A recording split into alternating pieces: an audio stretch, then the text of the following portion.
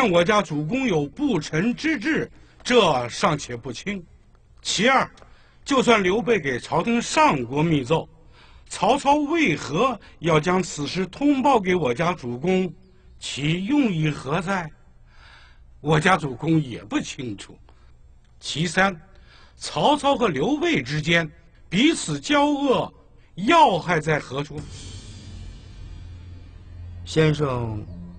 你的意思是，要害是徐州，刘备区区之辈，得以偌大徐州之城，并兼六军之地，这是让天下诸侯都非常眼红的事。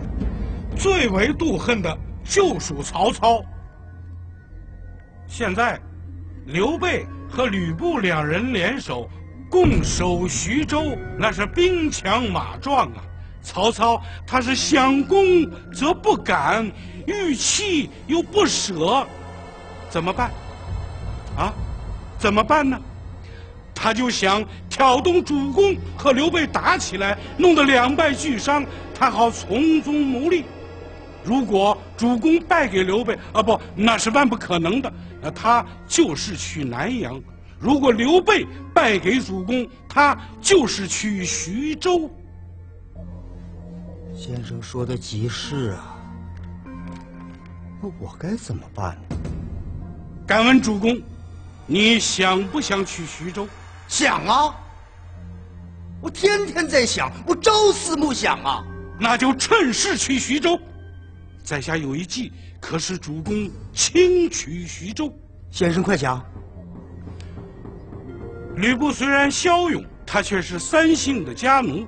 其性多变而又贪婪，他和刘备同处一城，如出水火。如果主公会他以黄金万两，锦缎千匹，令他暗中偷袭刘备，主公到时出兵相迎，如此定能大功告成。事成之后嘛，主公把徐州下的两个郡赏给他就足够了。啊，再以后嘛，主公找个机会灭了他。那不是易如反掌吗？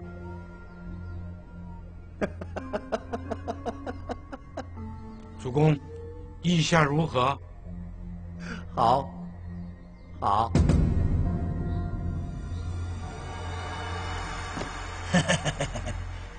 哎呀，这是大哥的座位。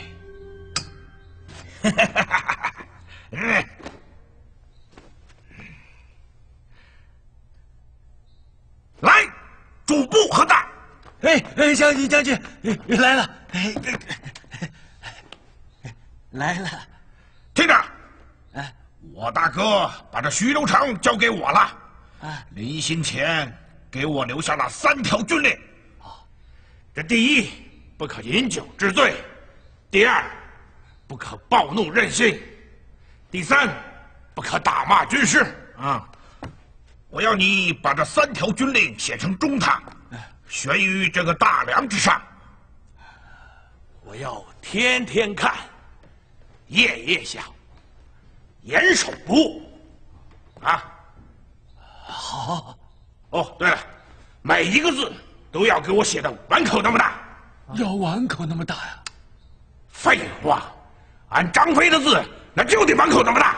呃，是是。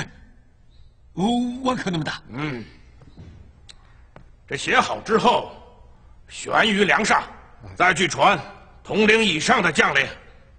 华听相见。啊，是。我要训话。哎，哦，对了，你再去给我准备好俺张飞酿的美酒五十担。哎，是。哎，将军，你刚才讲的话怎么忘了？那主公留下的第一条军令就是不许饮酒啊。你废话，我叫你去办就去办。是是，小的遵命。哎，遵命。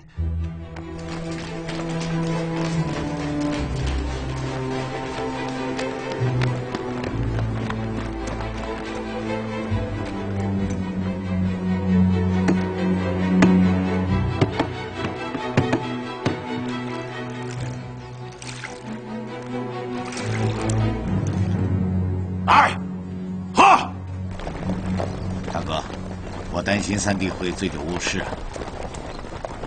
我也担心，不过反过来一想，一德如果连酒瘾都扛不住，日后如何成大事？所以还是让他历练一下吧。前后不过几十天嘛。是。其实我更担心的还不是一德，而是吕布。我听说他与陈宫驻守小沛后，天天都在招兵买马。吕布是头恶虎啊，早晚要生事，你应该把他逐出徐州。我以仁义待他，只盼他不要负我。